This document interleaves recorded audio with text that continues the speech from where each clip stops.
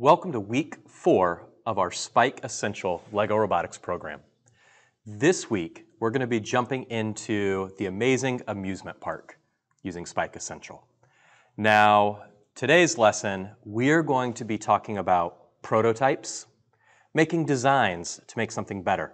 We're going to talk about improving something, testing it, and then refining it. Now, we're going to do all this through looking at amusement park rides. Now, have you been to an amusement park before? Maybe if you live in Idaho, you've been to Silverwood, or maybe like me, I've been to Six Flags St. Louis. So think about an amusement park that you've been to, maybe Disneyland out in California, or Disney World, or Universal in Orlando. And I want you to think about a ride that you really enjoyed. Maybe you enjoyed the swings that go up and then spin you really high. Maybe you enjoy roller coasters. Maybe it's that pirate ship that swings back and forth. Or maybe just the carousel, where you get on the different animals and go up and down as it spins around. Now take that idea that you have, that ride that you love, and I want you to think about a way that you might improve it. How could you make the ride that you like better? And take a minute, just think about that ride that you really enjoy riding. And how could you make it better? What would you change on it? I love to go fast, so I think my change would be pretty simple. I would just turn up the speed. That's what I would like to do with my ride. How about you? What would you change to make an amusement park ride better? How could you make your favorite ride more exciting? Some people really like roller coasters, and they felt like to make it more exciting, they put the roller coaster indoors so it would be completely dark. Some people really like roller coasters, and instead of going up a big hill to start, they figured out a way to use magnets and make your roller coaster start really fast without ever going up a hill. So, we're going to be designing a, a amusement park ride today, and then we're going to be making it better. We're just going to start with a prototype and then we're going to find ways to make our build better.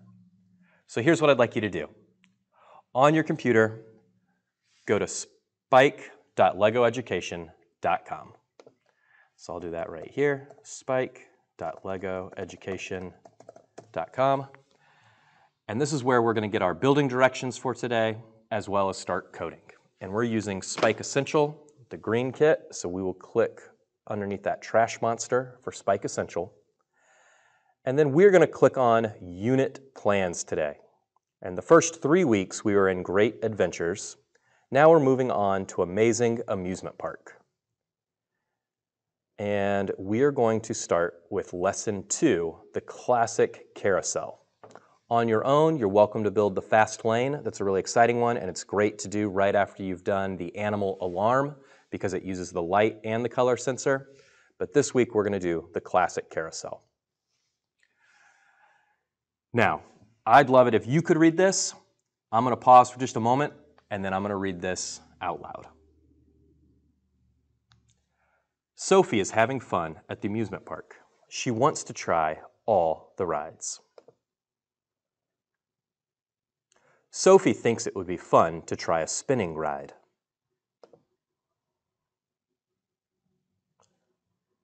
Build the carousel for Sophie to try. All right, so we will start. I'm going to build right here. You're welcome to mute me or pause me, or if you want to build right along with me, that'd be great. This is also a fantastic build if you have a brother or sister that wants to build with you as well. So what we'll do is we're going to start with our hub, and remember our hub is the brains of our robot. So I turn it upside down, and it looks like I'm going to need four of those little green pegs that let me stick this hub right onto any of the base plates that we're using.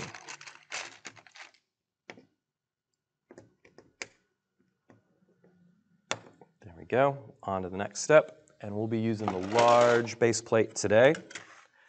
We'll just stick that right down here. And if you're building with another family member or somebody else, A great way to do this is to take turns. So one person does all the even steps, one person does all the odd steps. And here in a moment, I'm going to say, okay, now this is where two people could build at the same time and just substitute pieces. All right, next we need a motor. And our motor is that one that allows us to add movement. This one also needs four of those green pegs. That tells me we must be attaching this to the base plate.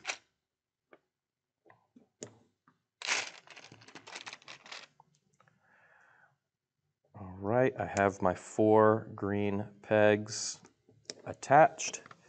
And in step four, it shows me to put this at the corner of my plate. Like I said earlier, if you have a sibling or another family member that's going to build with you, go ahead and give them a large plate and give them the other motor, and they can go ahead and build everything that we're building and just substitute parts if we run out of a part. All right, next up is that little yellow axle. And that axle's only three long, so it's not this one. This one's too long. I need this short one. We'll put that right inside the motor. On top of my motor, I can put a green round, and that slides onto the axle. So as that axle spins, it'll make that Lego piece spin. Now we're ready for one of these.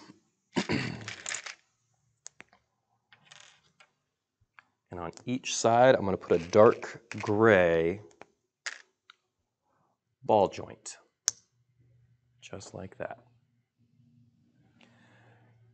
Now this will be the first piece that you won't have enough, actually you will have enough on this step if you're having somebody else build with you.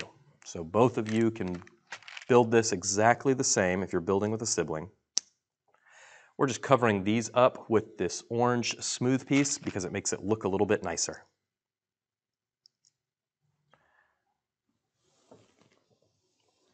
All right. I see in step nine that we need to build something first and then we'll attach it to what we've already made. So I see we need two of these and you should have enough if you have a sibling to do those. And then I see I'm using these purple circles. You could also use these yellow uh, shapes instead of the purple circles if you're building with somebody else.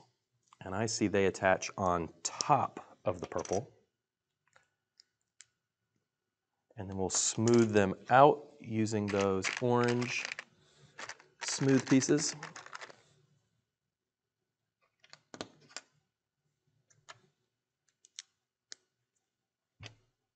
And then we attach them on by pressing them onto that ball joint. It's a cool little joint because it lets you make adjustments to how this piece is facing. All right, and it's a good amusement park ride, so let's add a flag on top.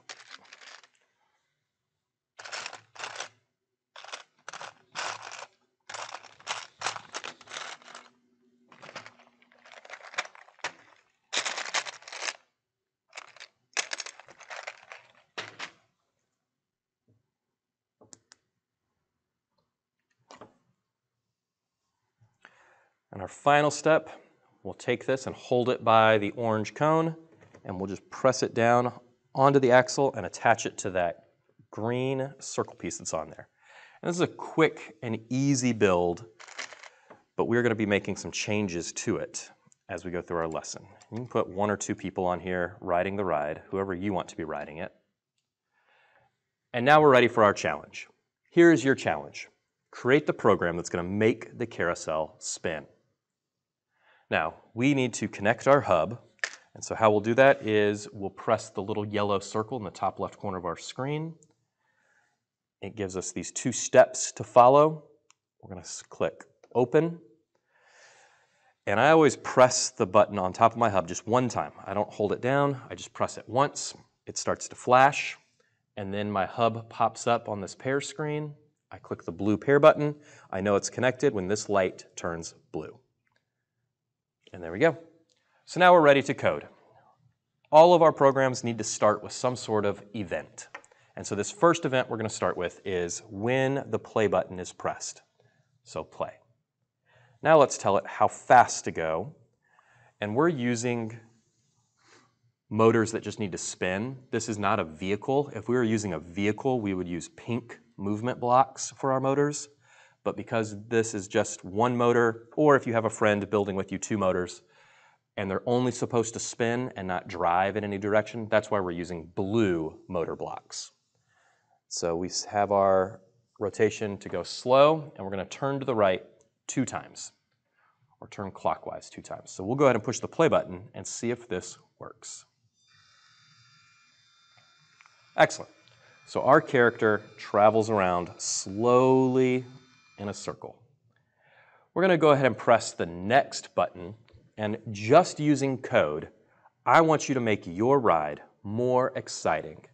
How would you make this ride better? What would you do? Would you add music? Would you add scenery? Or would you change the speed or how often it spins? So, for mine, actually now's a great time to just pause the video, code this so that it's a more exciting ride. How would you make it better? This is our prototype of a ride, which just means it's a rough example, a working model of a ride that we want to create. We've made our design, but now we're going to improve it. So that's your challenge right now. Improve the carousel. I want mine to start with a sound, and then I want the speed to be a little bit faster. And I like when rides change directions. And then I think it'd be fun to make my people think that the ride is over, but then spin them around one more time, and then play a sound to be done. So I'll push play on mine.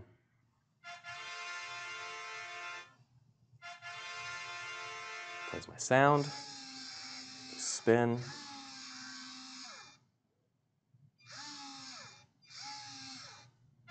And then it plays my sound one more time to show me that it's done. All right. Take some time, make some improvements to this ride just using code, and then we're going to go back and refine our prototype. We are going to make some changes to this to make it better. So, after you've made your improvements to the code, I want you to answer just a couple questions for me. How did you make your carousel spin? You used blue motor blocks, but then how did you change how it spins? For me, I made it go faster and I made it change directions a couple times. How did you make your carousel spin? How did you upgrade the code that we were using? The final thing we're going to do is now we're going to upgrade, refine this carousel. How can you make this better or more like a ride that you would want to ride? I'm going to give you a couple of examples. You could keep the ride looking similar to this, but make it taller. You could add more seats to this ride so that more people could ride on it. Or you could even change the direction that they ride. One thing I like to do is I like to bend these upside down so that you spin around upside down while you ride. So, use these ideas and improve your design. I can't wait to see what you make and how you improve this carousel to make for a more fun ride. Are you going to make room for more people to ride on it? Are you going to change the direction that it spins? Are you going to make it go higher? How are you going to make your carousel more exciting? So that's your challenge. Go ahead and get to work.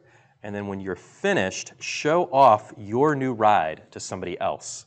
And I want you to tell them, what were you thinking about when you decided to improve your carousel?